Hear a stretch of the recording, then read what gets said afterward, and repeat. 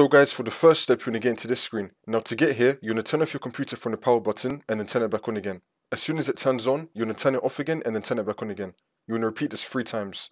So, turn off your computer from the power button and then turn it back on again. As soon as it turns on, turn it back off again and then turn it back on again. Repeat this three times and then on the fourth time when you turn your computer on, it will take you into this screen.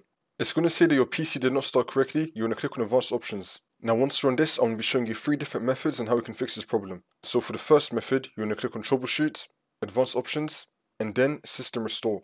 If you do not see system restore, then you're going to click on see more recovery options. Then it should appear right here. So you're going to click on system restore, and now this will come up. If you have a restore point enabled on your computer, you're going to click on next and then go back to your restore point. This should then fix your problem. If you don't have a restore point, that's fine. We're going to click on cancel.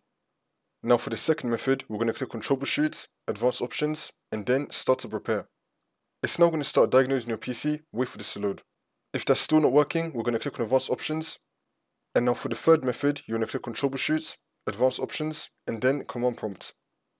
And then once you're on this, we're going to type in boots rec space forward slash fix MBR. Click on enter. Now we're going to type in boots rec space forward slash fix boot. Click on enter again.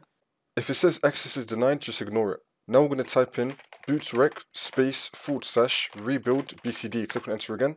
Now we're going to type in sfc space forward slash scan now. Click on enter again. You now want to run this scan. Wait for this to load.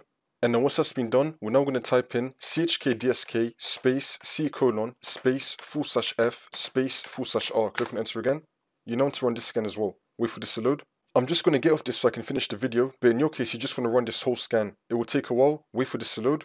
Once you complete this scan, you're gonna close out of this, then you're gonna continue to Windows, and then the problem should be fixed.